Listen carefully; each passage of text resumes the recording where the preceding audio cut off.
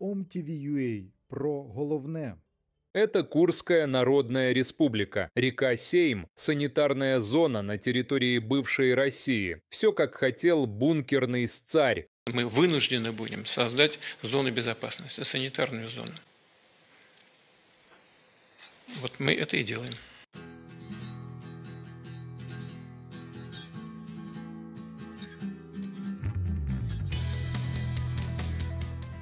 Всего на реке уничтожено три моста и около десяти самодельных переправ. Крысоловка для рашистов захлопывается.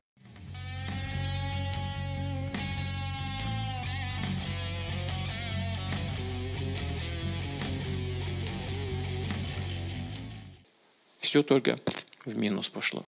Вот, вот интересное кино. Мы так не договаривались. Сегодня ночью, по-моему, расстреляны. Это в любом случае жертвы есть. Но молчат. У нас все под, контролем. Говорят так. Это званное. Лужковский район. Украинские воины на Курщине уничтожили еще одну колонну рашистов, а также понтонную переправу. Это случилось 28 августа в районе села Званное. В сети появились снятые очевидцами кадры. На видео понтоны российской оккупационной армии, разбитые на подъезде к реке Сейм. Также один из мостов через реку пытались укрепить инженерными средствами, но неудачно проехать не получилось получится. Ехали, машина была целая. Посмотрите, что сейчас с ней.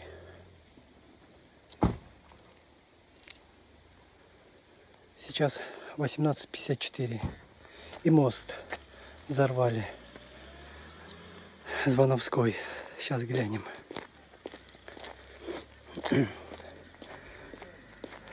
Мосты прям усердно лупят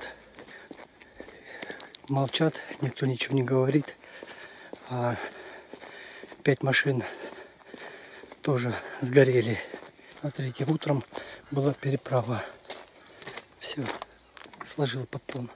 28 августа в украинских военных каналах также появилось видео с нанесением ударов по военной технике в местности, похожей на местность на видео из села Званное. Данные кадры публиковал волонтер и общественный деятель Сергей Стерненко. Путинские нацисты ехали наводить мосты через Сейм без разрешения вооруженных сил Украины. Успех ушел. Не получилось, не фартануло.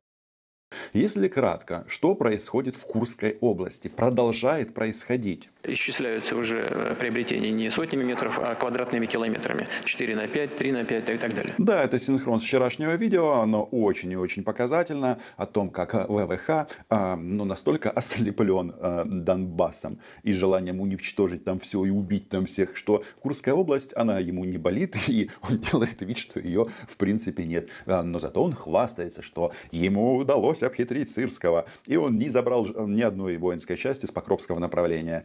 И там есть разные мнения по этому поводу. И, насколько я понимаю, и мы все-таки исходим из заявлений наших э, командиров и генералов, э, наступление местами остановлено, как на Покровском направлении, смотри интервью Сырского CNN, ну или э, частично оно замедлилось.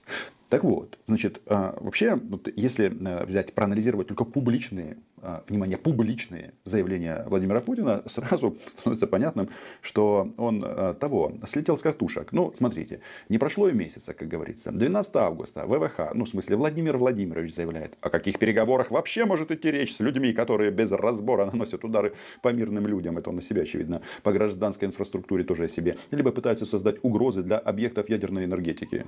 Ой, опять он о себе. Значит, 12 августа. Проходит две недели. 2 сентября. Владимир Путин. Ну и после этого, мне кажется, возникнет желание действительно не на словах, а на деле переходить к мирным переговорам. Значит, 5 сентября. Россия готова вернуться к переговорам с Украиной на основе соглашений, достигнутых в Стамбуле в 2022 году. Ну, хочется безумному деду сказать, что соглашение, ну, во-первых, никто в соглашение с Рашкой не верит. Это первое. А во-вторых, ну, а, это учат на первом курсе университета международные отношения факультет, соглашения это когда не подписаны. А если они не подписаны, то это мечты. Но смысл в чем? Значит, э, деда безумного а, просто шарахает от одной крайности в другую. Причем и в одной, и в другой крайности Курскую область он не видит. А мы видим. Подписывайтесь на мой YouTube канал, мы называем здесь вещи своими именами, и, и это прекрасно, потому что на связи жители Курской области, которая, а, внимание, а, продолжает переходить под контроль вооруженных сил Украины, а местные жители жалуются, что у них не работает телевизор. Ну и ведут дискуссии с украинскими военными. Ну что, давайте окунемся в будни суджи под украинским флагом правительству Российской Федерации, правительству Курской области, чтобы они договорились о предоставлении коридора и чтобы нас вывезли из зоны военных действий. У меня на руках 89 и 70 и инвалиды и 88 лет. Поэтому мы не могли. Эвакуации как таковой не было. Объявления о том, что надо эвакуироваться, не было. Ушли те люди, которые... которые могли ходить, да. двигаться где-то как-то. И ушли через речку, ушли. Вот. А мы выехать не могли. Так, через речку, ну, наверное, они тогда не ушли, а уплыли. Тут э, вопрос в следующем. Я тут не собираюсь иронизировать над людьми, которые находятся в этой ситуации. Как сказал Путин, они преодолевают сложный период. Э, только он почему-то стесняется сказать что-то в Курской области. Да, у Путина стоп-слово все-таки появилось. Это нет, э, не Алина хватит, а Курская область. А Алину просто охрана не допускает к телу телу, а, пока еще живому, но тут тоже э, есть некоторые перспективы. Смотри э, следующее видео на этом канале. Э, если кратко, был вопрос, изменится ли Россия после смерти Путина. Мое мнение такое. Надо пробовать. Без газа, мы уже давно без газа, без света, без воды связи. Без связи. Без связи давно уже вообще. Дрова на исходе собираем Дров в лес страшно идти, потому что мины. Поэтому мы просим нас вывести отсюда. Для кого война хорошо, не для кого. Это особенность э, мышления российского гражданина, точнее населения. Вот а перед вами одна из особей этого населения. То есть два с половиной года бомбежек украинских городов. А им как-то, ну, ну, мы политикой не интересуемся. А вот теперь а, политика пришла к ним в дом. А, тут а, важное есть сообщение, что оказывается принципиально важным является работа телевизора. То есть если телевизор перестает излучать какие-то вот эти вот э, флюиды, мол, Путин о тебе думает, то они э, сейчас на, на этапе, э, может быть, царь не знает. Нет, царь о вас э, знает. Просто он, э, он занят занят очень сильно. Выбраться отсюда. Все, больше ничего нам не надо. Я вам повторюю. Ми хочемо виїхати і все. Повторюю, на нашому рівні все, що потрібно, ми готові надати коридор. Поки російська сторона не скаже, що ми надаємо коридор свого боку, це нереально. Потому что если вы начнете эвакуацию вглубь России в направлении Уральских гор, то российские военные вас просто пофигачат, как неоднократно они поступали с украинским гражданским населением.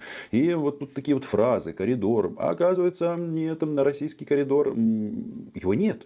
Российской Федерации на этих людей по боку, но это по большому-то счету не является новостью. Тут а, момент, знаете, что меня больше всего, как бы самое досадное. Вот эти вот женщины, а, эмоциональные. Если их в результате ведения боевых действий не убьет российской авиабомбой, потом всяким Скобеевым они будут нашептывать, как над ними издевались. Хотя, судя по всему, у них все хорошо. Только телевизор не работает. В информационном вакууме. Мы ничего не знаем. Я мы не смотрим. У нас давно не работают теле телевизоры. Нету связи. У нас давным-давно нет. Про те, что война началась, вы знали? Это мы знали. И, что вы, И мы ощущали это. Э, теч... Кому мы скажем? Мы далеки от политики. Чтобы не было информационного вакуума, я думаю, это прекрасная нагода Да, будемо понемножечку ще зараз з цими жінками переходити на українську мову. Це всі так кажуть, але український народ, наприклад, вийшов на майдан, вигнав сраного Януковича з України. Немає його. Він у вас тепер. А як розкажіть? А ви боїтеся всі? Ви, ви що, раби? Будь ласка, підходьте. Может, что-то Путину хотите передать? Не, Путину ничего не хотите? Как эта бойкая женщина сразу сникла, боится царя. Не надо бояться царя. Вы и так в ситуации э, на грани, потому что вас будут бомбить авиабомбами. Ну, прям как Украину. Может быть, потому что там украиноязычное население под гнетом маньяка. Насчет украиноязычного населения це не жарт. Щоб освободив нас життя від нас Міра, міра, мира, мир вами і нами. Попросить просить Путіна, щоб мір був між нами. Щоб оця війна вся закінчилася. Щоб ми не мучилися наші діти. Я дав уже. Пожалуйста, хай він у нас Бачите, не забрав, а дав. хоча б хоч побачив, як ми тут. Це так мило, це так чудово. Українська мова в Курській області. Но особенность в чем? Говорят українською мовою только люди, люди постарше. А вот э, тем, которым там чуть больше 50, уже украинский язык не знают. Почему? Потому что а, русификация и всякое такое. Но женщина ну, мудрая, она говорит, чтобы война прекратилась. К Путину она обращается. И правильно она делает, потому что она знает, что дело в маньяке. Вот правда, дело в российском маньяке. Наша цель – прекратить эту войну.